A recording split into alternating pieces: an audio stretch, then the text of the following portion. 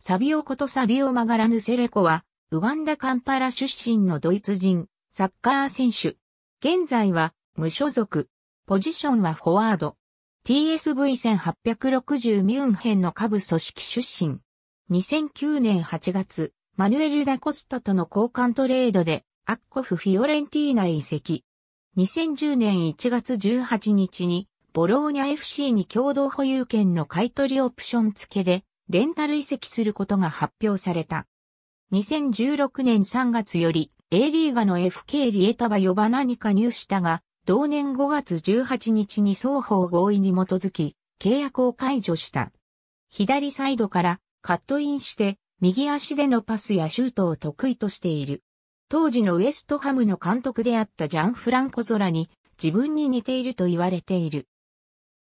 コルポ・ボローニャ、プレイソソビオレコクーリラダロスポート、イット、2010年1月18日閲覧、アシスカイアリエターボス、IR ソビオマガラレコケリー、FK リエターバ、2017年1月10日閲覧。